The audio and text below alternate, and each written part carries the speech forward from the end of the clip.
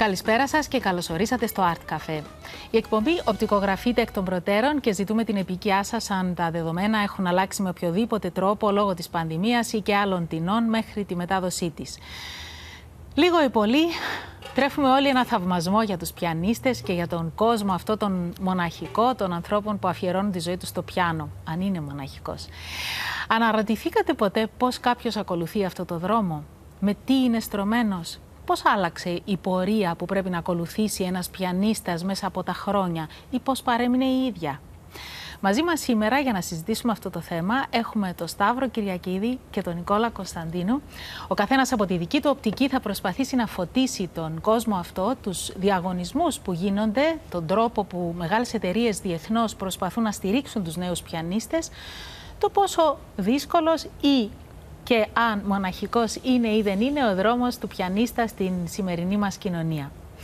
Ο Σταύρος Κυριακίδης συνδέεται με τον κόσμο της μουσικής με πολλούς τρόπους, τόσο λόγω επαγγέλματος, ε, ως διευθύνων σύμβουλος της Κυριακίδης Piano Gallery, ως και ως ε, πρόεδρος του πολιτιστικού οργανισμού ε, Avantgarde και του Ινστιτούτου Πολιτισμού. Ο Νικόλας ο Κωνσταντίνου είναι πιανίστας που διαπρέπει και εδώ και στο εξωτερικό και ως διδάσκων και πρόσφατα έλαβε και μια παγκόσμια διάκριση από την Steinway για την οποία θα μιλήσουμε. Θα μας τα πούν οι εκλεκτοί φιλοξενούμενοι εν καιρό.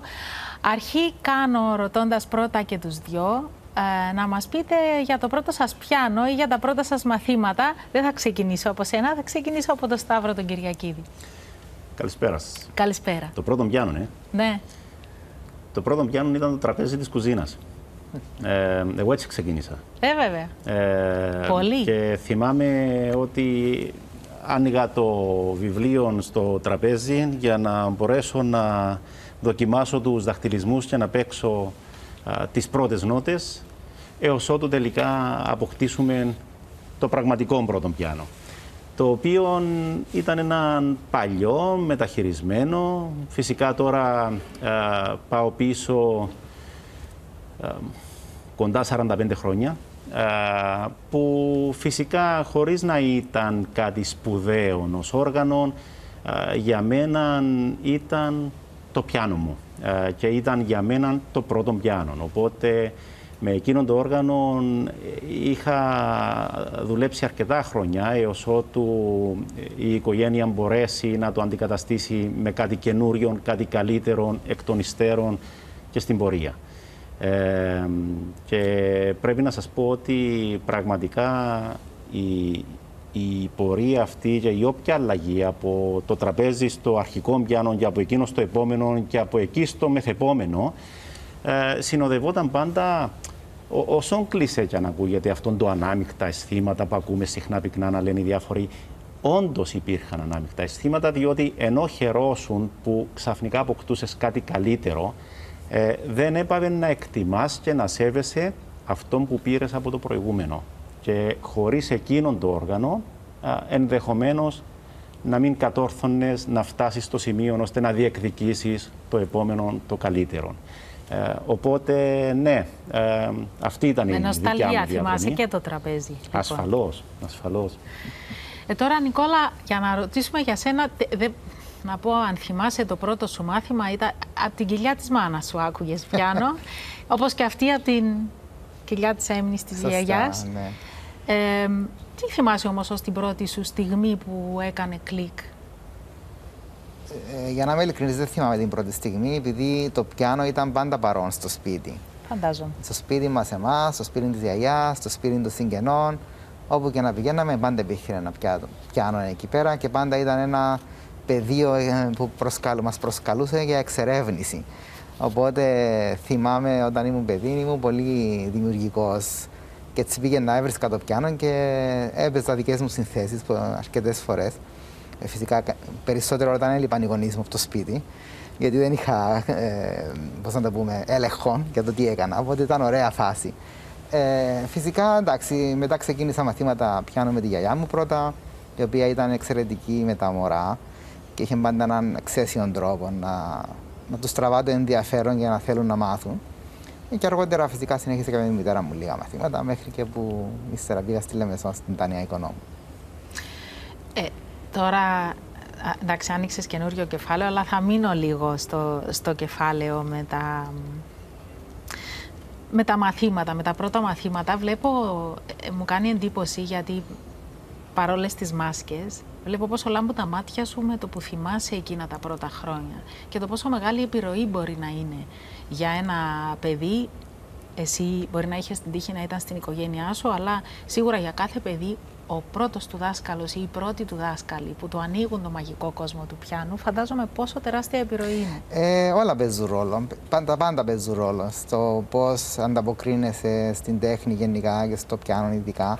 Ε, η γιαγιά μου πάντα ήταν άνθρωπος που μας προωθούσε, που ήθελε να μάθει όλα τις τα εγγόνια να παίζουν πιάνο ακόμα και αυτά που ήταν πιο δύσκολα. Όλους ήθελε να μας μάθει. Και γενικά όλη η γειτονιά ήταν που ερχόταν στη γιαγιά μου για μαθήματα. Αλλά πέρα από την αρχή και την, ε, τα πρώτα βήματα που μπορεί να έχουν και ένα κανάκεμα, ε, περνάμε μετά στις περιπτώσεις παιδιών που μπορούν να προχωρήσουν ε, και στα πιο δύσκολα. Και φτάνουμε και στους διαγωνισμούς, που δεν είναι κάτι εύκολο, είναι αρκετή πίεση και αρκετή σε όλες τις ε, εκφάνσεις τους. θέλω να περάσουμε λίγο στο Σταύρο τον Κυριακίδη. Για πάρα πολλά χρόνια ε, διοργανώνεις ε, και συνεργάζεσαι με μεγάλους οργανισμούς που διοργανώνουν διαγωνισμούς πιάνου. Τι είναι αυτό που πιστεύεις ότι προσφέρουν στα παιδιά κυρίως; Γιατί να πάω πρώτα στα παιδιά. Οι διαγωνισμοί έχουν σαφέστατα σοβαρά ευεργετήματα που κανείς πρέπει να τα κοιτάξει στα μάτια και να τα χρησιμοποιήσει σαν τα χρήσιμα εργαλεία τα οποία σου προσφέρονται. Ε, σαφώς συνοδεύονται και με κάποια αρνητικά, όπως για παράδειγμα ε, έναν επιπρόσθετο άγχος, το οποίο και αυτόν κάποιος πρέπει να το αντικρίσει όχι ως αρνητικό καθεαυτόν, αλλά ως έναν από τα εργαλεία. Δηλαδή να μπορέσει ο επίδοξος καλλιτέχνης να διαχειριστεί ε, το άγχος άγχος το οποίο ενδεχομένως μέχρι εκείνη τη στιγμή να είναι διαφορετικό. Για παράδειγμα, ένα νεαρό παιδί μπορεί να θεωρεί ότι το πιο αγχωτικό μέρος της όλης υπόθεσης είναι να παρακαθίσει σε εξετάσεις στο τέλος του χρόνου. Έως ότου έρθει το επόμενο βήμα. Γιατί αντιλαμβάνεστε ότι στις εξετάσεις, εάν όλοι είναι καλοί, όλοι θα περάσουν. Και αν δεν περάσεις με άριστα και περάσεις με λίγαν καλώ, δεν έγινε κάτι. Προσπαθείς περισσότερο την επόμενη φορά, ή και κάποιοι μπορεί να επαναπαυτούν και να θεωρούν ότι και το λίγαν καλός ήταν αρκετά καλό. Στον διαγωνισμό όμως, το λίγαν καλός ή το σχεδόν άριστα, ή ακόμη και το άριστα, μπορεί να μην είναι αρκετό. Γιατί κάποιος άλλος πήρε άριστα με τόνο. Ε, αντιλαμβάνεσαι ότι εκείνη τη στιγμή μπορεί να μην σε αγχώνει η παρουσία κριτικής επιτροπής, γιατί μπορεί, για παράδειγμα, να είσαι συνηθισμένος να παίζεις με έναν εξεταστή να σε ελέγχει, αλλά σε αγχώνει το ότι δεν θα έχεις δεύτερη ευκαιρία. Είναι τώρα, είναι η στιγμή. Και ο διαγωνισμός, εγώ πολλές φορές λέω ότι είναι η φωτογραφία της στιγμής. Είναι μια τάξη που πάντα βγάζει την αναμνηστική φωτογραφία, και αν εσύ είσαι εκείνος που έκλεισες τα μάτια στο κλάσμα του δευτερολέπτου που ο φωτογράφος πάτησε το κουμπί, θα είσαι ο ένας από τους 28 στην τάξη που είσαι με τα μάτια κλειστά, ενώ όλοι οι άλλοι λάμπουν περήφανοι για τη φωτογραφία της τάξης. Ασχέτως εάν είσαι ο πιο όμορφος, αλλά είσαι εκείνος με τα μάτια κλειστά.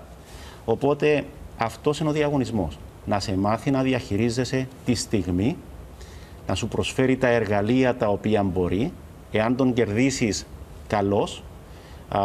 Εάν όχι, τότε να μάθεις να διαχειρίζεσαι είτε αυτό που κάποιος θα μπορούσε να αποκαλέσει αποτυχία, είτε να επανακαθορίσεις στόχους και να επιστρέψεις, αλλά ποτέ η έκθεση σε κοινών και ποτέ η συνεργασία με καλλιτέχνες δεν είναι ε, ελάσσονος σημασίας.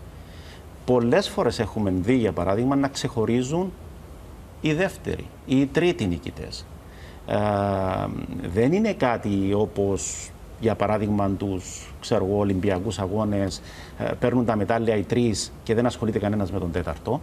Ε, αλλά πολλές φορές μπορεί η επαφή, ε, η κινητικότητα μεταξύ των καλλιτεχνών, όπως την αποκαλούμε, δηλαδή να έρθει σε επαφή έναν παιδί με την κριτική επιτροπή, η κριτική επιτροπή να το θαυμάσει ή για παράδειγμα να δει την ατυχία ή την αστοχία της στιγμής και να του δώσει δύο συμβουλές που μπορεί να τον βοηθήσουν.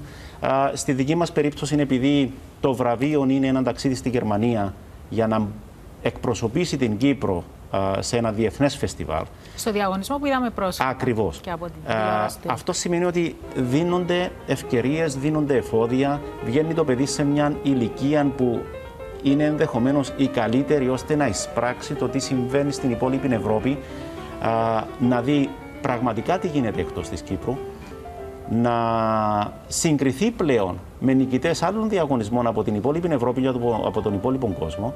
Και άρα να αντιληφθεί που βρίσκεται κιόλας. Και καμιά φορά είναι και εδώ ο Νικόλας να αντιληφθούν καλύτερα το τι ακριβώς τους λέει ο δάσκαλος.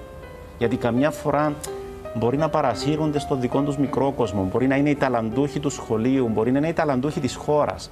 Μπορεί ο δάσκαλος, αντιλαμβανόμενος τις δυνατότητες, τον πλούτο τον οποίο ένας μαθητής έχει και θέλει να τον βγάλει, ο δάσκαλος να εργάζεται περισσότερο από ότι ο ίδιος ο μαθητής, που μπορεί να νιώθει ότι έχει συγκεκριμένες ευκολίες και επαναπάβεται. Όταν όμως πάει και δει τι απαιτείται για να συνεχίσει, ποιο είναι το επίπεδο των σχολών του εξωτερικού, ποιο είναι το επίπεδο των συνομήλικων του στη Γερμανία, στην Αυστρία, στη Γαλλία, τότε έρχεται πίσω με περισσότερη όρεξη, με περισσότερο μεράκι, με διάθεση για περισσότερη δουλειά, γιατί ξέρει ότι έχω ακόμη να φτάσω. Στην εκπομπή της περασμένης εβδομάδας είχαμε φιλοξενούμενη την Ίτσα Χατζηγεωργίου που είπε ότι όταν πήγε πρώτη φορά στην Ελλάδα, γιατί είχε ξεπεράσει τη Βερούλη στο Ακόντιο και ήταν αθλήτρια, ε, όταν πήγε στο, στην πρώτη της διεθνής συνάντηση και είδε πώς ε, ε, σύγκριναν οι επιδόσεις της με των άλλων χωρών, αποφάσισε ότι, όπ, φτάνει, δεν. Ε, μας πρόθεσή μας φυσικά δεν είναι να τους πούμε φτάνει δεν απέναντίας. Η πρόθεση η δικιά μας είναι να τους πούμε ορίστε πεδίο δόξης λαμπρών, οπότε συνεχίστε για περισσότερα, συνεχίστε για καλύτερα. Και προς απόδειξη τούτου πρέπει να φέρω ως παράδειγμα σχεδόν την ολότητα των νικητών αυτού του διαγωνισμού από το 1998, για 22 χρόνια ανελειπώς αναδιετία διοργανώνουμε το διαγωνισμό Avantgarde. Και πραγματικά είναι, είναι άθλος το να μπορούμε 22 χρόνια μετά να, να μπορούμε να λέμε ότι διοργανώνεται. Αν λοιπόν στα τελευταία 22 χρόνια έχουμε βιώσει τα πάντα στην Κύπρο, ε, με αποκορύφωμα αυτή τη στιγμή των κορονοϊών, ο οποίος αντιλαμβάνεστε ε, πώς μπορεί να διαταράξει ε, τις ισορροπίες από το ένα λεπτό στο επόμενο. Και όμως ο διαγωνισμός έγινε μεσούση της πανδημίας και αυτού του, του, του τρομερού δεύτερου κύματος που μας ταλαιπωρεί. Ε, και όλοι μας οι νικητές σήμερα διαπρέπουν και εργάζονται στον πολιτιστικό, στον δημιουργικό, στον μουσικό τομέα. Άρα εμείς δεν χάσαμε κάποιον γιατί κοίτα τι κάνουν οι άλλοι δεν είναι για σένα. Απέναντίας θέλω να νιώθω και το υπερηφανεύομαι ότι τους βοηθήσαμε να ανοίξουν τα φτερά τους, να πεισμώσουν, να προσπαθήσουν και τελικά να τα καταφέρουν καλύτερα. Μάλιστα. Θέλω να περάσουμε, Νικόλα Κωνσταντίνου, και στο κομμάτι της ε, σχέσης καθηγητή-μαθητή και το πώς ε, εκείνη η στιγμή στην διαδικασία έρχεται όπου πρέπει να διαλέξεις ή να συμβουλέψεις τους μαθητές σου αν θα περάσουν σε αυτό το στάδιο του διαγωνισμού ή αν δεν θα περάσουν σε αυτό το στάδιο του διαγωνισμού και πώς ε, στηρίζετε τα παιδιά ως καθηγητές σε αυτή την δοκιμασία και με την καλή της έννοια. Σύνθετη ερώτηση.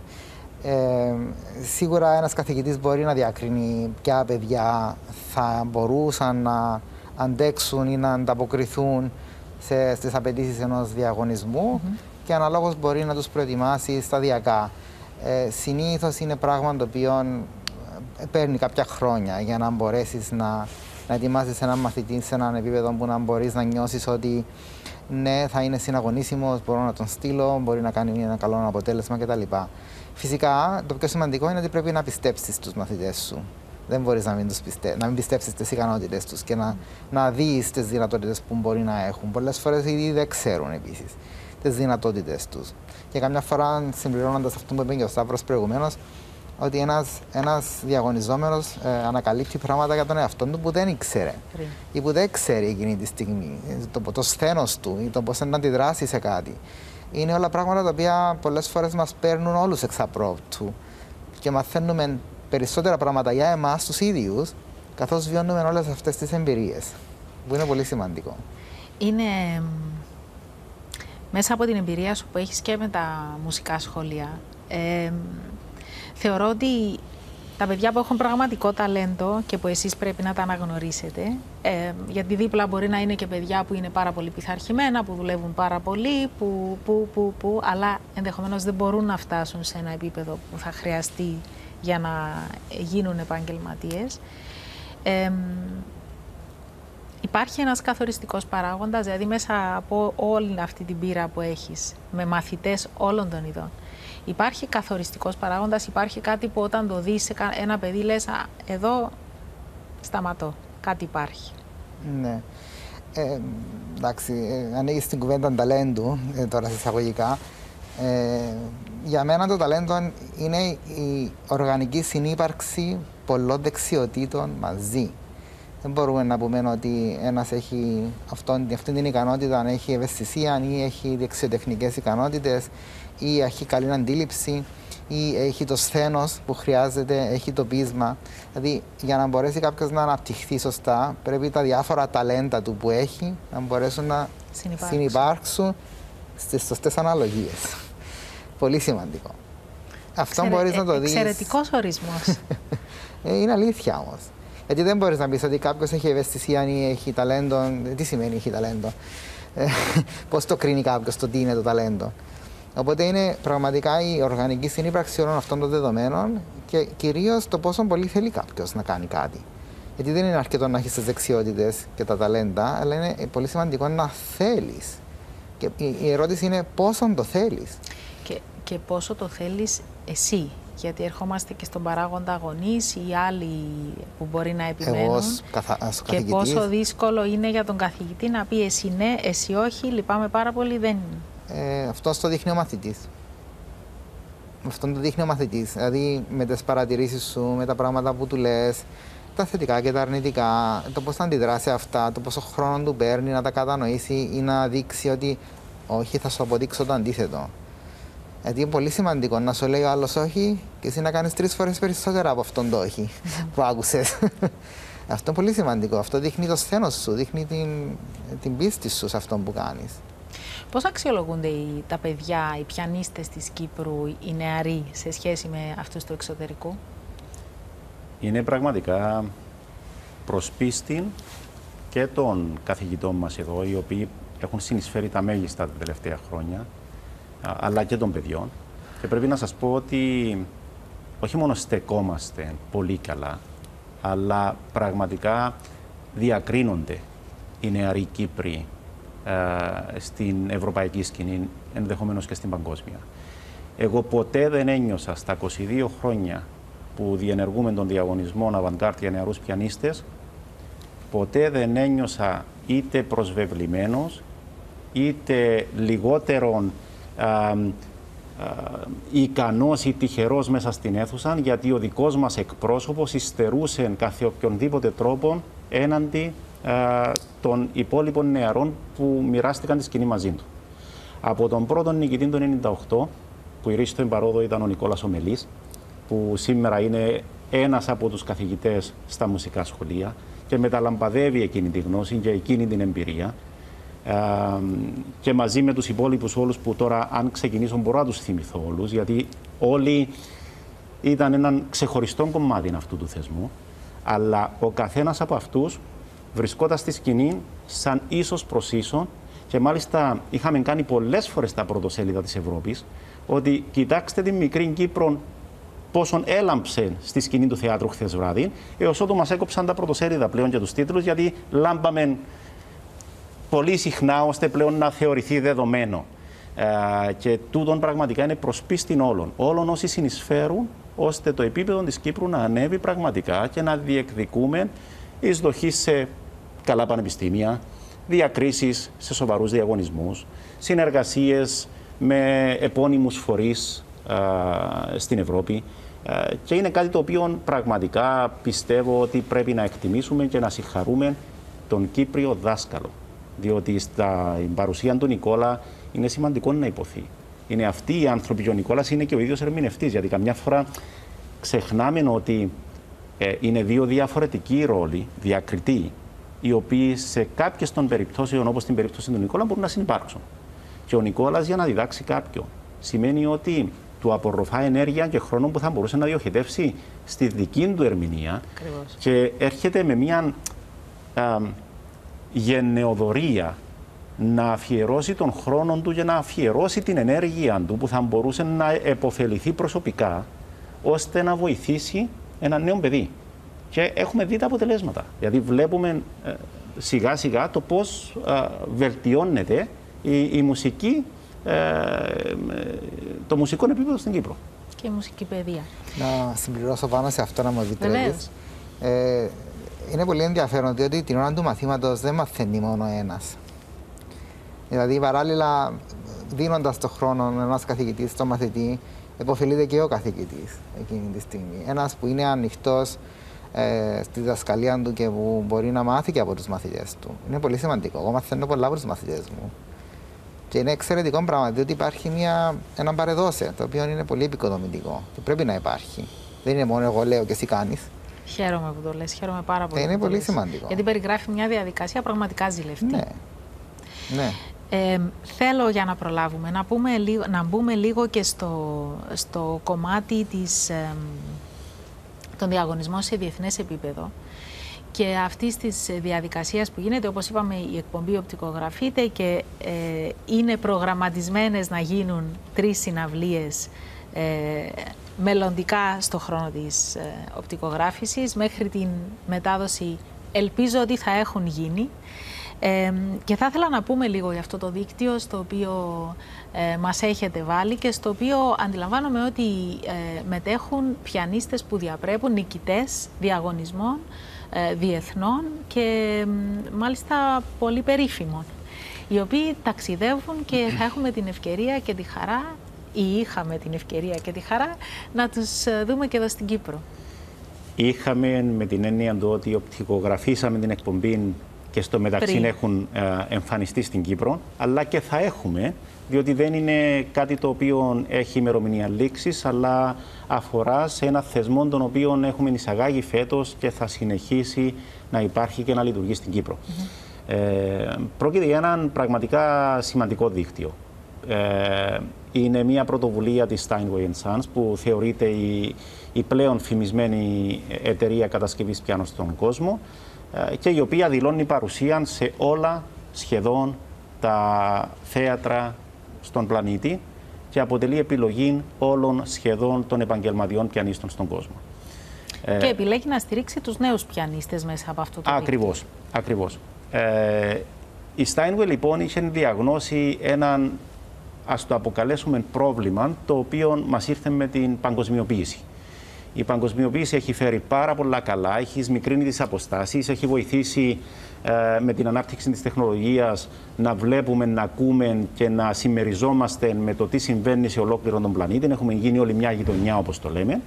Αλλά έχει επίσης καταφέρει να μας ρίξει στην οθόνη του κινητού ή του υπολογιστή και πάρα πολύ σαβούρα. Διότι πλέον ο καθένας από εμάς σε ολόκληρο τον πλανήτη, είναι όλα τα 7 δισεκατομμύρια ανθρώπων, γινόμαστε εκδότες, γινόμαστε παραγωγή, ανεβάζουμε βίντεο, παίζουμε κάτι στο πιάνο, το ρίχνουμε στην πλατφόρμα και ξαφνικά εκεί που θα ανέβαινε, ας υποθέσουμε, ξέρω εγώ, ένας όγκος πληροφοριών, ανεβαίνει ένας τέτοιος όγκος που είναι αδύνατον κανείς να τον παρακολουθήσει.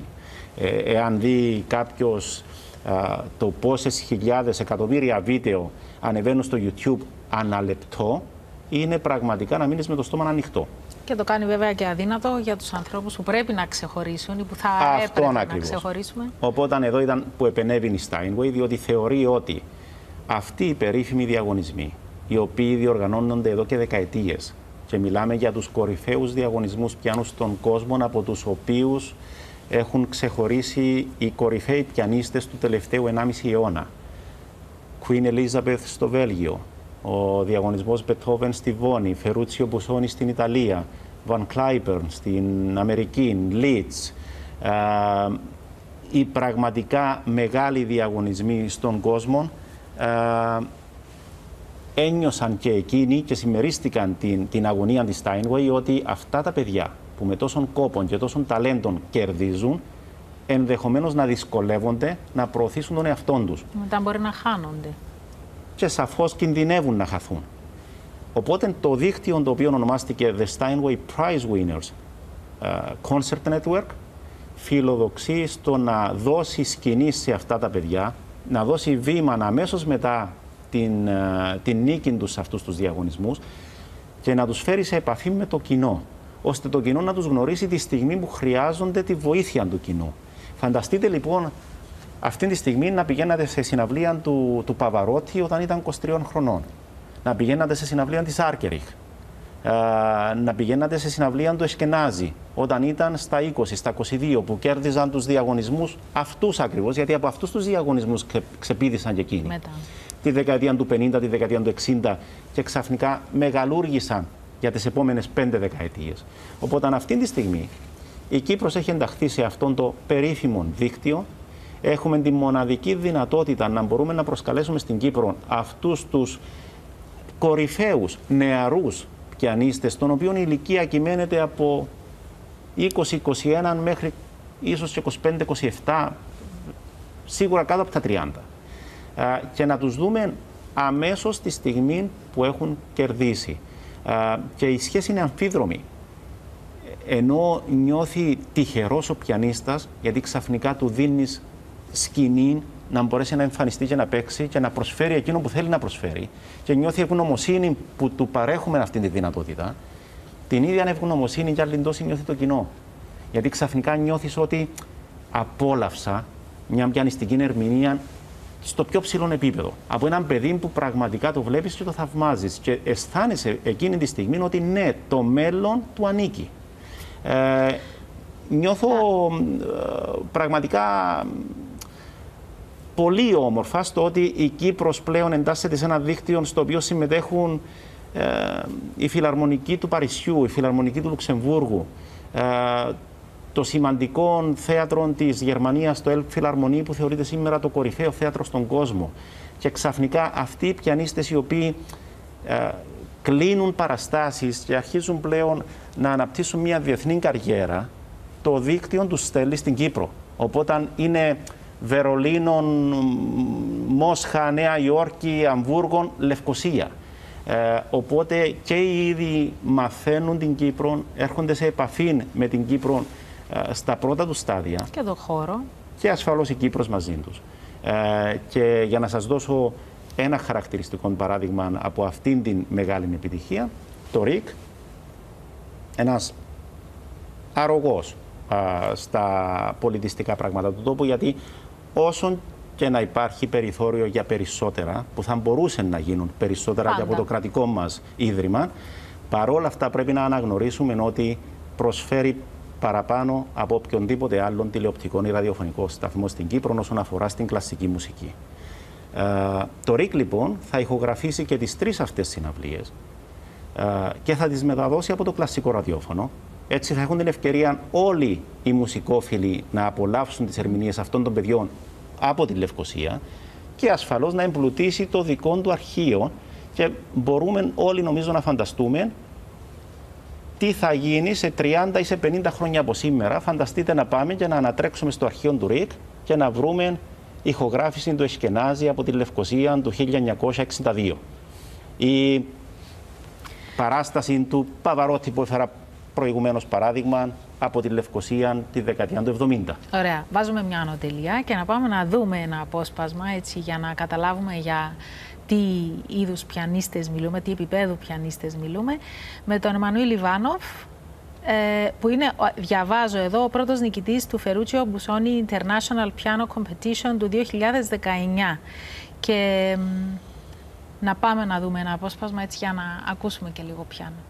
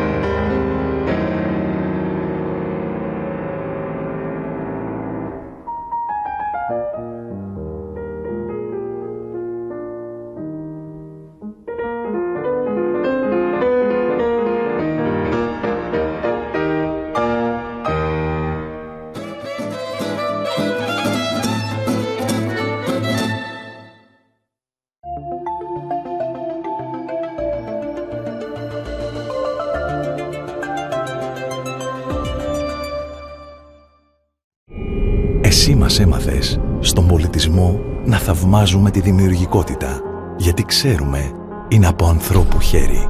Εσύ μας έμαθες τι πραγματικά έχει αξία. Ο ΠΑΠ Κύπρου. Υπερήφανος υποστηρικτής σου.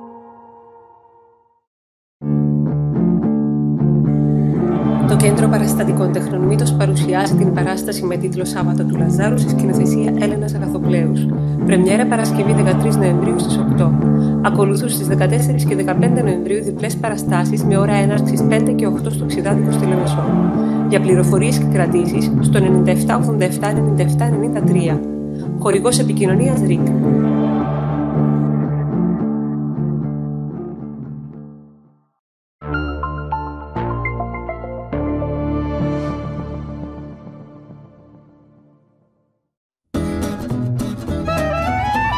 Ladies and gentlemen, my name is Gerrit Glaner. I'm the head of the Concert and Artist Department of Steinway in Hamburg. I wish I could speak to you directly in person as planned, but short-time travel restrictions kept me from coming. However, it is my desire to express my happiness, my gratitude and my respect towards the Avant-Garde Cultural Foundation and its new series, Great Pianists of the 21st Century. This title reflects exactly the spirit of which Steinway thinks it is true. The so-called artists of tomorrow are indeed already artists of today. They have proven it by winning competitions and even before when they prepared for it. And they will do it also now in Cyprus, I'm sure.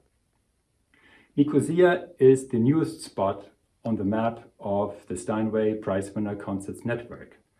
It stands in line with venues like the Philharmonies in Paris or in Luxembourg, the Beaux-Arts in Brussels, the Gewandhaus in Leipzig, or the Hamburg Elbphilharmonie, and also the Dubai Concert Committee. Today, 23 uh, piano competitions are member of this network. Three of them are represented here. It's the Concorso Busoni from Italy, it is the Cleveland Virtuoso competition, which took place online, and also the Beethoven competition of Bonn, Germany. The pianists Immanuel Ivanov, Martin James Bartlett, and Sun Mu Yin stand for these competitions, but not only that, they also stand for the joy of music. And this is what I, on behalf of Steinway and Sons, wish you the audience too. Είναι σημαντικές οι σχέσεις που αναπτύσσονται. Ο Γκέριτ Κλάνερ θα ήταν μαζί μας. Ε, δυστυχώς με τους περιορισμούς ε, δεν μπορούσε τελικά να είναι. Είμαστε πίσω στο στούντιο του Art Cafe και μιλάμε για μεγάλους πιανίστες, για τον τρόπο που φτάνουν να γίνουν μεγάλοι, αλλά και για όλα όσα κάνετε εδώ στην Κύπρο, τόσο από πλευράς ε, των καθηγητών και των επαγγελματιών ε, και των οργανισμών που οργανώνουν ε, συναυλίες ε, για μας, αλλά και των ε, διαγωνισμών που γίνονται και μας συνδέουν με το εξωτερικό. Δύο λόγια για αυτή τη σχέση και γιατί είναι σημαντική. Είναι σημαντική γιατί δίνει ευκαιρίες. Αυτό μόνο. Δηλαδή δίνει ευκαιρίες σε παιδιά που τις χρειάζονται. και πραγματικά αυτές οι ευκαιρίες δεν μπορεί να είναι ποτέ αρκετές και δεν μπορεί ποτέ να τελειώσουν. Ένας καλλιτέχνης στη διάρκεια της σταδιοδρομίας του θα χρειάζεται πάντοτε τις ευκαιρίες. Την ευκαιρία να παίξει, την ευκαιρία να εμφανιστεί σε έναν καινούριο κοινό, την ευκαιρία να παρουσιάσει καινούργια δουλειά. Και αυτές οι ευκαιρίες αντιλαμβάνεστε ότι δεν έρχονται εύκολα. Πρέπει ο καλλιτέχνης από δική τους, από δική του πλευρά να πετύχει εκείνον το οποίο χρειάζεται και πρέπει και οι διοργανωτές και οι φορείς και οι, οι εργάτες της πολιτιστικής ε, βιομηχανίας να κάνουν το δικό τους κομμάτι. Ε, εκείνο που είχε πει προηγουμένως ο Νικόλας ότι στο κομμάτι ταλέντων πρέπει όλα να είναι στο, στη σωστή αναλογία και εδώ το ίδιο. Οπότε αυτή η σχέση, αυτή η σχέση είναι ευκαιρίες. Δίνει ευκαιρίες σε καινούργια παιδιά και όχι μόνο, διότι ε, είχες αναφερθεί αρχικά στην διάκριση του Νικόλα. Ναι. Να μια ευκαιρία. Ο Νικόλας είναι ένας καταπληκτικός πιανίστας που εμείς, επειδή ζούμε ανάμεσά του, μπορεί κάποιες φορές να το ξεχνάμε. Γιατί τον έχουμε συνηθίσει με την καλή έννοια, γιατί είναι ένας ευγενικός χαρακτήρας χαμηλών τόνων, ο οποίος κινείται ανάμεσά μας ε, και ενδεχομένως κάποιες φορές να ξεχνάμε το ταλέντο το οποίο τον διακατέχει και το τι πραγματικά παρουσιάζει όταν βγει επί σκηνής. Η Steinway λοιπόν το έχει αναγνωρίσει αυτό και του δίνει τέτοιες ευκαιρίες γιατί πρόσφατα τον έχει αναγορεύσει σε Steinway Artist. Μιλάμε για την μεγαλύτερη τιμή η οποία υπάρχει στον κόσμο του πιάνου. Είναι ελάχιστοι οι Steinway Artists στον κόσμο, είναι οι καλύτεροι πιανίστες στον πλανήτη και αυτό συνέβαινε πάντοτε για τον τελευταίο 1,5 αιώνα. Steinway Artists ήταν για παράδειγμα ο μεγάλος Χόροβιτς, Ρούπινσταϊν, Πατερεύσκι, Ραχμάνινοφ, είναι σήμερα οι μεγάλοι Άρκεριχ, Πολίνι, Μπρέντελ, Εσκενάζη και μιλάμε για την αφρόκρεμα των, των ερμηνευτών στο πιάνο. Ο Νικόλας είναι ένας εξ αυτών. Που μπορεί οι ευκαιρίες που λέγαμε, μπορεί για παράδειγμα κάποιος ο οποίος δεν τον γνωρίζει προσωπικά, αλλά ακούει ότι θα παίξει στο Μεξικό, να εμπιστευτεί τη Steinway. Για να είναι Steinway artist, πάει να πει εν καλός. Άρα θα το αγοράσω το εισιτήριο να πάω να τον δω. Άρα να μια ευκαιρία. Θα μπορούσε ένας διοργανωτής στην Κίνα να πει ότι γιατί να μην τον καλέσω, για να είναι Steinway artist, πάει να πει εν καλός.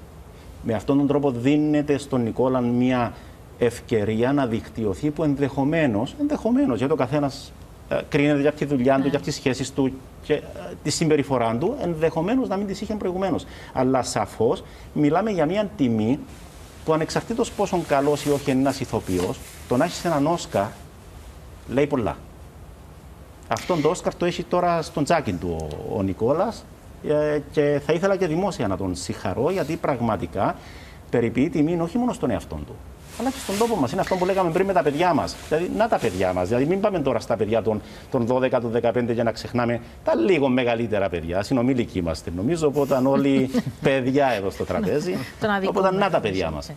Η αλήθεια είναι ότι όντως το ξεχνάμε. Και ε, αν σκεφτεί κάποιος ότι έχουμε την απίστευτη ευκαιρία να διδάσκει ένας τέτοιος άνθρωπος στα μουσικά σχολεία ή να προσπαθεί να δημιουργήσει δομές για να μπορούν να υπάρξουν ε, τα παιδιά μας και ως πιανίστες. Εσύ ναι. ε, ε, πώς νιώθεις για αυτή την τιμή, αλήθεια; Άλλαξε κάτι; Ε, σίγουρα νιώθω περισσότερη ευθύνη απέναντι σε αυτά που κάνω με αυτόν τον τίτλο και πρέπει να, να προσπαθήσω να είμαι πάντα όσο καλύτερος, όσο καλός όσο μπορώ να είμαι και να γίνομαι καλύτερος. Ε, είναι μεγάλη τιμή φυσικά για μένα ε, και χαίρομαι πάρα πολύ γι' αυτό και ήταν και ένας κρυφός μου πόθος ε, να γίνω κάποια στιγμή και εγώ Steinway Artist. Όταν είχα τελειώσει τις σπουδές μου το είχα, το είχα σκεφτεί. είχε περάσει αυτό μου μυαλό Πέρασε από το μυαλό σου σαν τρελόνι. Φαντάστηκες κάποτε να. ναι, κάπως έτσι. Ε, αλλά θέλοντας να συμπληρώσω σε αυτά που είπε και ο φίλος Σταύρος προηγουμένως, ότι ένας καλλιτέχνης για να μπορέσει να υπάρχει χρειάζεται συνεχή στήριξη.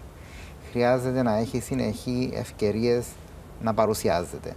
Αυτόν τον κρατά στο, στο να βελτιώνεται. Γιατί πολλά πράγματα δεν μπορείς να τα μελετήσεις σπίτι σου. Τα μαθαίνεις επαυτοφόρο πάνω στη σκηνή. Έτσι. Και για να μπορείς να γίνεις καλύτερος, πρέπει να έχεις συνεχή τριβή με τη σκηνή. Θυμάμαι μια φορά διαβάζα για τη βιογραφία του Κλαούδιο Αράου, ένας χιλιανός εξαιρετικός πιανίστας, ο οποίος ε, είχε ένα αποχή από τη σκηνή για δύο εβδομάδες. Δύο εβδομάδες και μετά δεν μπορούσε να ανεβεί στη σκηνή. Ήταν τόσο μεγάλο το, το, το, track. Δύο εβδομάδες αποχή. Φανταστείτε, εμείς στην Κύπρο, κάθε φορά που κάνουμε συναυλίες, περνούν, μπορεί να περάσουν και από 6 μέχρι 8 μήνες. Ε, και τώρα με την καραντίνα είχαμε πολύ μεγάλη αποχή από τη σκηνή. Άρα είναι ακόμα πιο δύσκολο για μας να ξαναβγούμε από στη σκηνή. Γιατί είναι ένα συνήθεια που πρέπει να το κρατάς συνέχεια ζεστό. Έφυγες, φεύγει. Δεν είναι κάτι που διατηρείται. Λοιπόν, είχες την καλοσύνη να μας επιτρέψεις να μεταδώσουμε ένα κομμάτι ναι. για το κοινό μας και ευχαριστούμε. Πάμε να το ακούσουμε.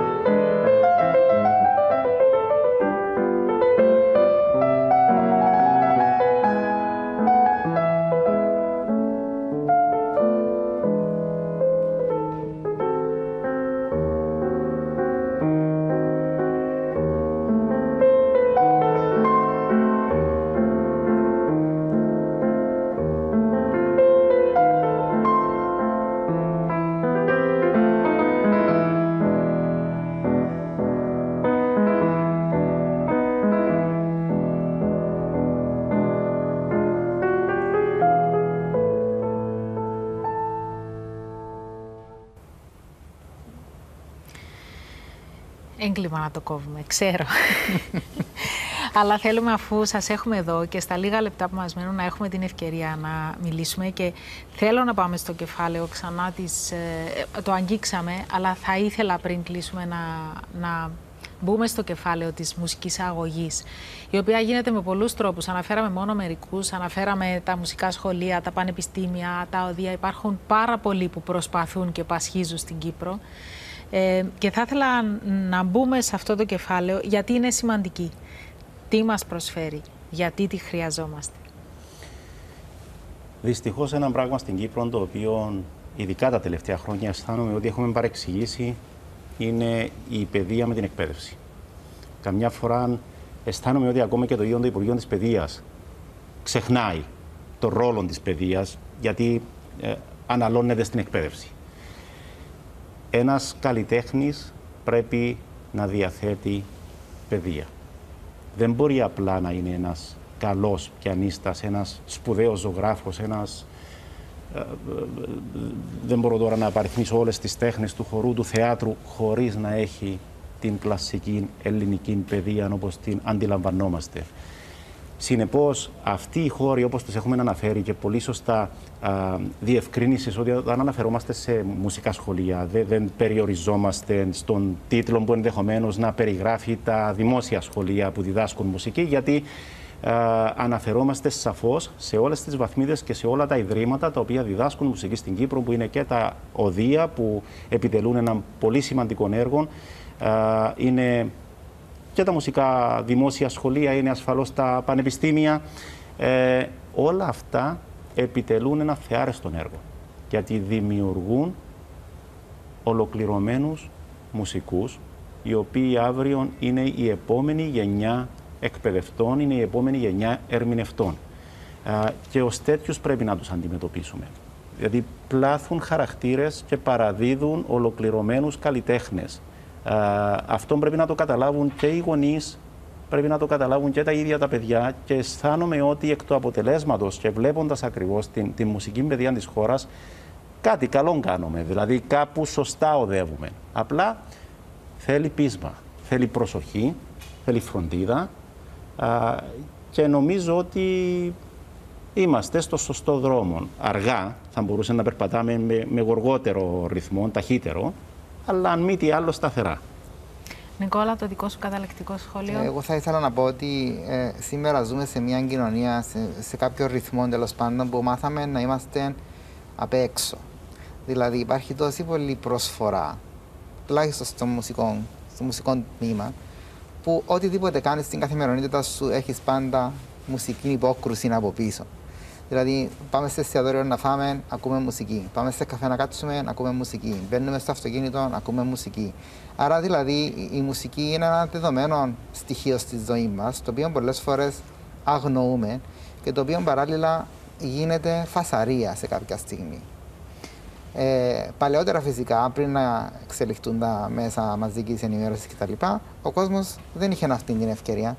Άρα αυτό που είχε στη διάθεσή του ήταν να κάτσει ο ίδιος να μάθει να παίζει μουσική για να μπορέσει να έχει μουσική στα αυτιά του. Και να της δώσει τη σημασία που της αρμόζει. Ήταν να πάει στη συναυλία, ή ήταν να παίξει ο ίδιος σπίτι λίγο πιάνο, να περάσει καλά, να διασκεδάσει την οικογένεια. Αυτό το έχουμε χάσει σήμερα, δυστυχώς. Και αυτή είναι η προσπάθεια όλη που γίνεται με τα σχολεία και τα πανεπιστήμια προσπαθούμε να διατηρήσουμε και να δώσουμε τις ευκαιρίες όχι μόνο σε αυτούς που θέλουν να σπουδάσουν μουσική, αλλά και στον κανονικό κόσμο που θέλει να κάνει οτιδήποτε άλλο, να έχει αυτήν, αυτόν το προνόμιο να καταλαβαίνει τη μουσική και την τέχνη. Αυτό του δίνει τα εφόδια να είναι καλύτερος άνθρωπος, να έχει περισσότερη αγάπη, περισσότερη κατανόηση, αλληλεγγύη. Γιατί χωρίς αυτά, πού πάμε; Αλλά είναι πολύ σημαντικό οποιοδήποτε, σε οποιαδήποτε ηλικία να ξεκινήσει να ασχολείται με τη μουσική που τα μέσα προς τα έξω, μόνο θα υποφεληθεί. Σας ευχαριστώ πάρα πολύ. Εύχομαι καλή συνέχεια. Εύχομαι να συνεχίσετε να κάνετε αυτό που κάνετε γιατί είναι ένα δώρο για μας και την κοινωνία μας και όσο το δυνατό περισσότερα παιδιά να έχουν την ευκαιρία να έχουν αυτή την παιδεία ε, που τόσο εύστοχα περιέγραψε Σταύρο. Εμείς ευχαριστούμε. Εμείς ευχαριστούμε. Να είστε καλά. Θα κλείσουμε με ακόμα ένα από τους great pianists of the 20th century που καταφέρατε να κλείσετε για την Κύπρο. Με την ευχή να επιτρέψει η πανδημία να πραγματοποιηθεί και αυτή η συναυλία και να είναι η πορεία όλων των παιδιών λαμπρή και να διαπρέψουν σε αυτό το δύσκολο πεδίο. Κλείνω με αυτό που είπε ο Μπετόβεν που δείχνει πόσο δοσμένος και συνεπής πρέπει να είναι ένας πιανίστας στη μελέτη του όσο ταλαντούχος κι αν είναι. Αν δεν ασχοληθώ, είπε, μια μέρα στο πιάνο, θα το καταλάβω εγώ. Αν δεν ασχοληθώ δύο μέρες, θα το καταλάβουν οι φίλοι μου. Αν δεν ασχοληθώ τρεις μέρες, θα το καταλάβει ο κόσμος όλος. Γεια σας.